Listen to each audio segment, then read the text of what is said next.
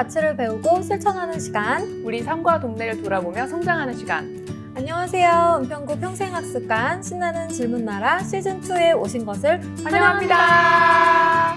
네, 오늘은 지난 편에 이어서 유기농은 비싸잖아. 식품의 본래 가격이라는 2편 내용으로 돌아왔습니다. 오늘도 지난 시간에 이어서 먹거리에 대해서 이야기를 해볼 텐데요. 선생님 오늘은 어떤 이야기를 들려주실 건가요?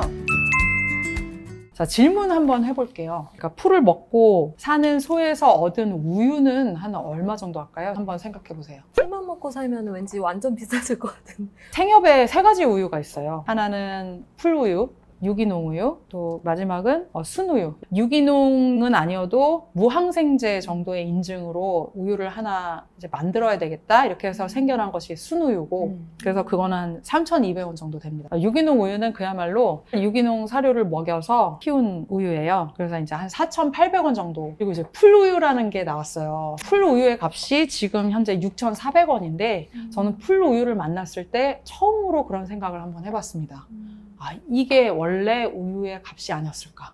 또 두 번째 질문도 한번 드려볼게요. 유기농 사료를 먹는 닭이 낳은 달걀 값은 한 어느 정도 될까요? 보통 유기농 그 사료만 먹였을 때는 유기농이 가격이 많이 나가니까 한 3배 이상 뛰지 않을까. 어, 그래도 그렇게 네. 예상을 하시나요? 네, 먹어보진 않았지만. 맞추라는 건 아니고 생각해 보시라고 말씀드렸고요. 생산자분한테 여쭈었을 때 그분이 말씀하시기를 유기농 사료를 먹여서 키운다면 한 알에 한 1,500원 가량 되지 않을까 예상한다고 말씀하셨어요. 달걀도 굉장히 귀한 음식이었는데 몇 알씩 하루에 한 판씩 이렇게 먹을 수 있는 거는 왜일 까? 한번 생각해 보시라고 질문을 던져드렸습니다. 자, 일단 오늘 제가 말씀드리고 싶은 얘기는 싼 데는 다 이유가 있다는 말씀을 드리려고 하는 거예요. 사기 이전에 얘는 왜 쌀까 하고 한번 생각을 해보셨으면 좋겠다는 얘기예요. 그게 싼 것 같지만 그 안에 보이지 않는 비용이 이렇게 뒤에 보따리로 숨어 있는데요.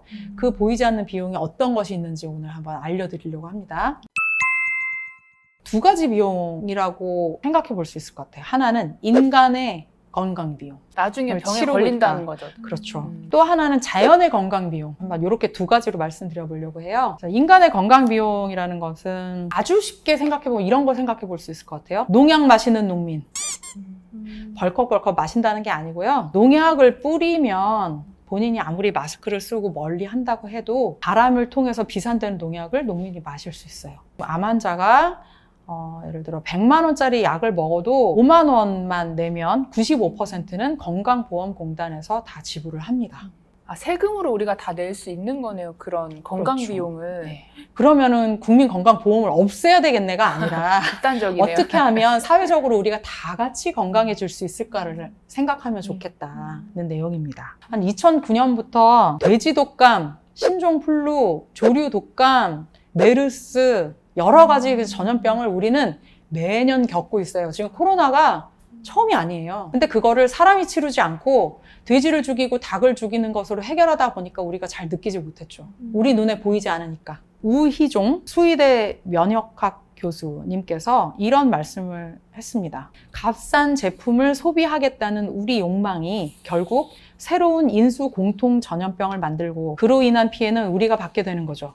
이 세상에 공짜는 없어요. 싸게 얻은 만큼 지불해야 합니다. 우리가 다른 생명을 싸게 활용했다면 우리 생명을 지불해야 되겠죠. 이런 얘기를 하셨는데 진짜 마음에 많이 와닿습니다. 그리고 또 하나는 자연의 건강 비용입니다. 우리가 인간의 건강만 갉아먹고 있던 것이 아니라 정말 보이지 않는 자연을 엄청나게 우리가 약탈하면서 해적질 해가면서 살아가고 있다는 것을 알아야 해요.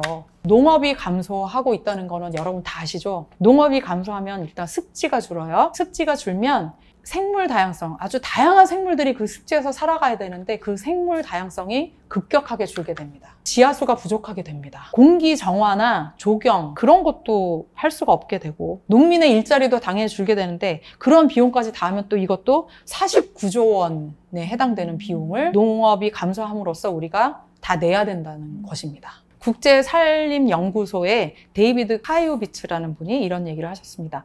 아마존 열대우림을 다진 고기로 바꾸고 있다.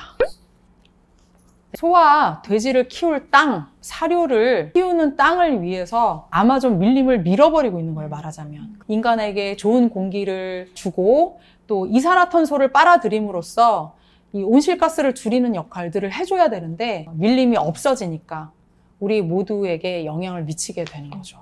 내가 이 고기를 싸게 많이 먹기 위해서 얼마나 많은 것들을 희생하고 있는지, 많은 비용을 들이고 있는지를 당장 내 주머니에서 돈을 지불하지 않는다고 해서 생각하지 않을 것이 아니라 그 많은 비용들에 대해서 생각을 해보셔야 된다. 그래서 월드워치 연구소의 2012년 데이터인데 모든 축산업이 미치는 온실가스에 미치는 영향을 조사를 한 데이터가 있는데요. 그 이제 축산업이라는 건 다 합쳐서입니다. 아까 말씀드렸던 축산업에 드는 땅 그리고 그 사료 그리고 보관과 조리를 하는데 나오는 온실가스 액체 폐기물 그리고 산림 벌채를 하기 위해서 산림을 태우면서 생기는 온실가스. 뭐 여러 가지 것들을 다 해봤을 때 축산업에서 발생하는 온실가스 기여분이 무려 51%라고 합니다. 어, 쉽게 얘기해서 온실가스 배출량의 반을 축산업이 배출하고 있다는 거예요. 동물을 섭취함에 있어서 모든 것이 먹거리가 연결돼 있다는 얘기를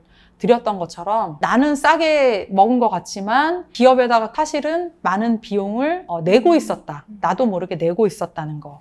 이런 얘기가 있어요. 가축을 먹이는 땅, 먹이를 재배하는 열대 토지를 숲으로 재생한다면, 다시 되돌린다면, 그것만으로도 모든 인간 활동의 온실가스 배출량을 절반 이상 완화할 수 있다. 어, 어, 되게 굉장히 희소식 아닌가요? 어, 우리가 날씨다 라는 책에서 조너던 사프란 포어가 이렇게 얘기했습니다. 개인이 식습관을 바꾸겠다는 그야말로 개인적인 결정을 하지 않으면 환경 파괴를 억제하겠다는 목표를 달성할 길이 없다. 고 단언했습니다. 우리 그런 말 많이 하잖아요. 나 하나 바뀐다고 해서 뭐- 뭐가 얼마나 바뀌겠어. 하고 좌절하시지만 실제로 한 사람 한 사람이 그렇게 했기 때문에 지금 지구가 이렇게 된 거잖아요. 그래서 그 채식 실천을 하셨으면 좋겠다 말씀드리고 싶고 채식을 하자고 얘기하면 또는 채식하는 노력을 하자고 아니 그럼 고기를 하나도 먹지 말자는 얘기야?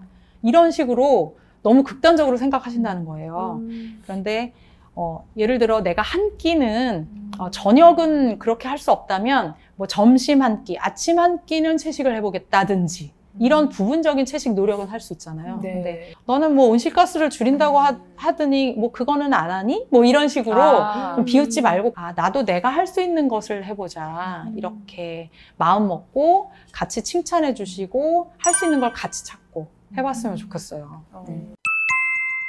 저는 생협을 통해서 뭐 식품의 본래 가격을 알게 되었고 그것을 통해서 생산자도 건강한 어, 음식을 생산한다는 자부심과 또 그분의 건강에도 영향을 미칠 수 있고 나의 건강, 자연의 건강, 사회의 건강이 모두 좋아질 수 있다면 나는 기꺼이 그 비용을 지불하고 먹겠다는 선택을 해서 어, 살고 있습니다. 여러분도 식품의 본래 가격에 대해서 한번 생각해 보시는 시간이 되었으면 좋겠습니다. 저도 선생님 얘기하신 것처럼 이렇게 좋은 환경 그리고 운동에 동참하고 싶고요. 우리 하루님은 어떠셨나요? 저는 오늘 수업 얘기 들으면서 반성이 많이 됐어요. 음, 나 앞으로 조금 더 공부를 해보고 싶은 마음이 저는 들더라고요.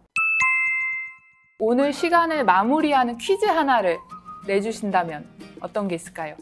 1탄에서는 긴 주관식 문제를 내서 제가 2탄에서는 짧게 아까 그 축산업이 온실가스 배출량에 미치는 영향력 그것을 이제 제가 몇 퍼센트라고 말씀드렸는데 그 숫자를 써주시면 됩니다. 그건 잊혀지지가 않네요. 그 숫자는 저도 꽤 많은 분량이어가지고